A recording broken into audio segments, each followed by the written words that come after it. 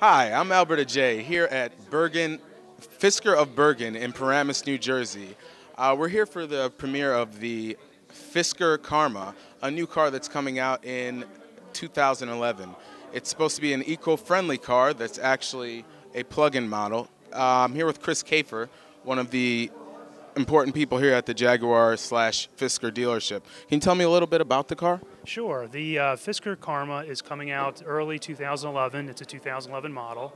It's the world's first plug-in luxury hybrid vehicle, which means you can charge up this car every evening and go for the first 50 miles completely gas-free. After those first 50 miles, you're going to get uh, average mile per gallon of around 100 miles per gallon. Uh, the car is powered directly by two electric motors, has a 403 horsepower. There is actually no transmission in this car, one of the first of its kind, because it's powered completely by the two electric engines, two electric motors.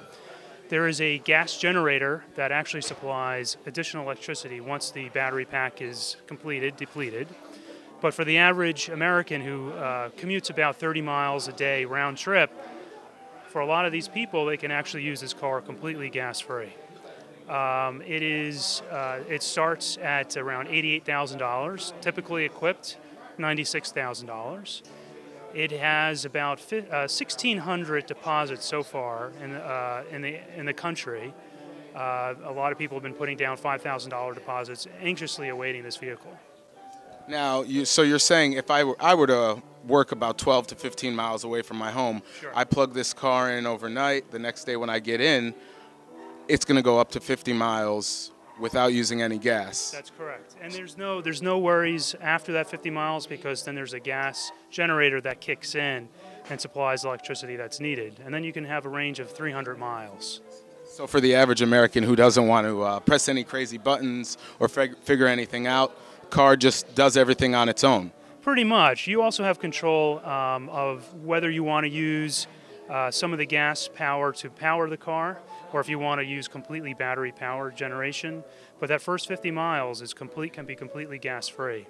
Uh, it takes about six to eight hours per evening to uh, recharge the car. That's if you have a typical electric power at your home.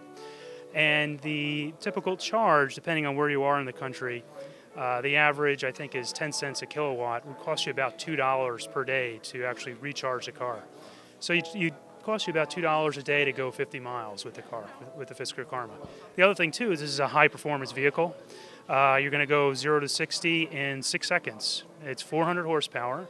And the torque is um, is completely driven right to the power uh, to the wheels that power the car. There's no transmission to get in the way. So actually, when you're going from that zero to 60, you're going with absolutely zero shift points. It's just pure power. So theoretically, this car, if you were not never to drive more than 50 miles, you could actually never use any gas. You can actually uh, never use gas if you're not going to go more than 50 miles. That's correct. Yeah. That's interesting. And now the I noticed in the brochure you have to hit a special button for the horsepower to kick in. It drives in a certain mode when you're just driving normally, and then you kick it into another gear. There's several different modes. Um, what they call stealth mode will be pure battery power, and it's actually completely silent as well. Uh, which is a reason if, if, you see the front of the car and the back of the car, they're actually developing a speaker system so that, so that the car actually has a sound to it. So if you're driving purely electric, which no hybrid on the road currently does, um, you'll you'll actually need a sound just for safety purposes, so that you can actually hear the car. So, uh, you know, the future of automobiles is the fact that it's going to be completely clean environmentally and actually produces no noise, which is actually a, a nice uh, benefit as well. Um, the car also has other eco friendly attributes to it. Uh, the interior leather is um, all from cows that are uh, free range cows, uh, grass fed, um, and uh, the wood interiors are all from wood that have uh, fallen trees, so trees that have grown to maturity and have fallen down. Um, also, wood that's gotten from the bottoms of lakes uh, in, in, in, the U.S. Uh, and you have uh, those, some of those wood sources are actually over 100 years old. Uh, wood that's at the bottom of the lakes throughout the country from logging from the 1800s. Uh, and then other wood is actually sourced from uh, some of the natural fire, uh, forest fires in California. And uh, that's why you'll see inside this card, it's got incredible patina on the wood, all different uh, variations of color and uh, textures. And the, the hides inside are all hand done with very little pigmentation. so you get a very natural feel to the leather as well. And they also have, um, there's three different uh, additions to the Fisker Karma. There's the Eco Standard, uh, there's the Eco Sport, uh, and then there's the Eco uh, uh, Chic, which is completely animal free. And some of the fibers that are going to be on the seats from that car is actually um, taken from bamboo. so there's there's variations of this car. It's also all aluminum. It's all aluminum body. The battery pack should last about 10 years, is what they're predicting, and can be changed out after those 10 years. So you're never stuck with a car uh, that can't be renewed as well. It's a very unique and nice car, from the cows to the trees to everything.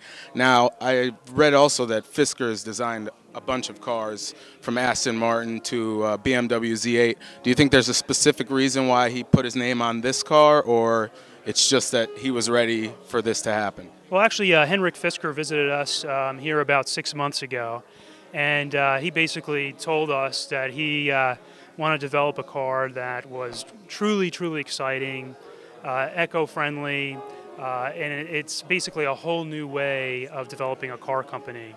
They are, this is a Fisker is a California-based American car company.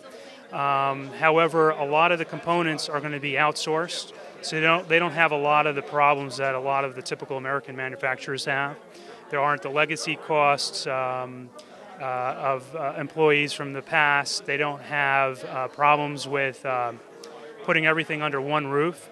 They've designed the car, engineered the car in California, and have outsourced actually even the manufacturing of the body. The, the car will be actually assembled in Finland. Um, alongside the same uh, lines that produce the uh, Porsche Boxster, Porsche Cayman, and the uh, Porsche Cayenne. Um, so it's a, it's a whole new way of actually developing a car company. Well, Chris, thank you very much for your time. Sure, it's, a, pleasure. it's a beautiful car, and uh, hopefully we'll sell a few more than uh, you expected. Uh, we hope so. Thank you so All right. much. Thank you.